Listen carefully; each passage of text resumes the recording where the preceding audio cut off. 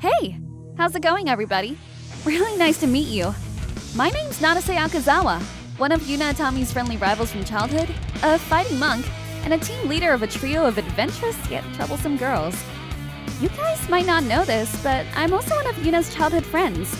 But unlike her other five best friends, I was more of the mischievous girl of the group, causing them a bit of trouble every so often. After an event that transpired, I promised Yuna that I would leave Aoharu City to train myself to be stronger than before, and return a better person than I used to be. I moved away from Aoharu to a remote area deep in the mountains where I trained in becoming a monk. Focused mostly on martial arts, but also the mastery in using lances, staffs, and bows. Upon returning to Aoharu, I still cause a bit of trouble to my childhood friends like I did before. Now that I've formed a team alongside Kaede Sendai, the ninja, and Saikunizuka, the samurai. Under my leadership, we're unbeatable against both the good guys and the bad guys, and our group of troublemakers who will come out on top.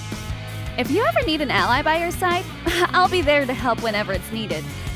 That is, if you don't get caught in my troublemaking mischief.